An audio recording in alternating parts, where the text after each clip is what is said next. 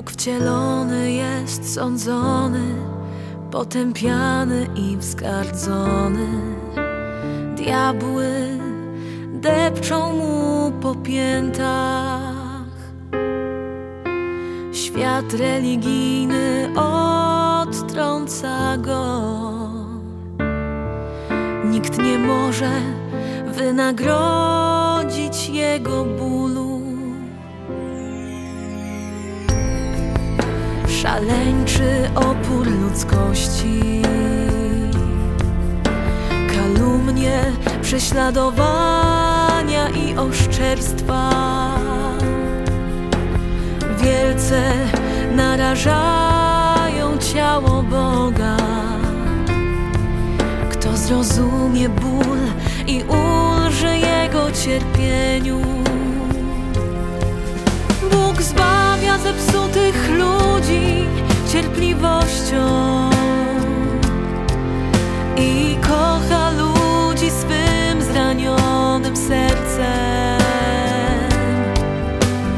To najboleśniejsze dzieło ze wszystkich, całe dzieło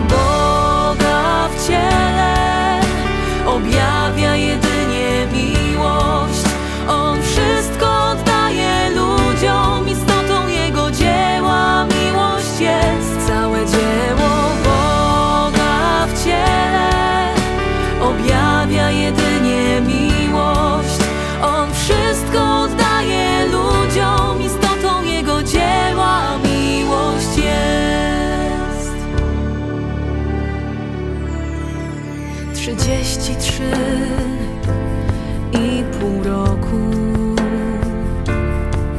Jezus żył na ziemi i doznawał bólu.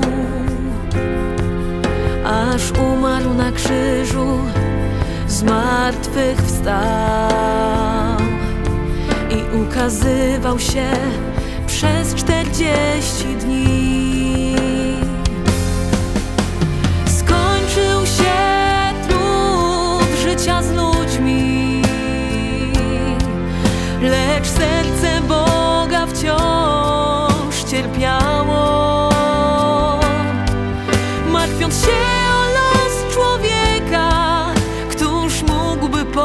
ci znieść taki ból. Całe dzieło Boga w ciele Objawia jedynie miłość. On wszystko oddaje ludziom Istotą Jego dzieła miłość jest. Całe dzieło Boga w ciele Objawia jedynie